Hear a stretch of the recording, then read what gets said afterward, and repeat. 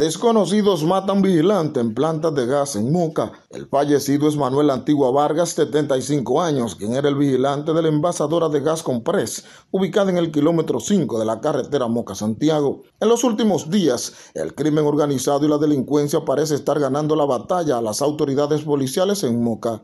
La antigua Vargas es el tercer fallecido en menos de 24 horas en forma violenta en esta provincia Espaillat. Miguel Ángel Arroyo, Grupo de Medios Telemicro.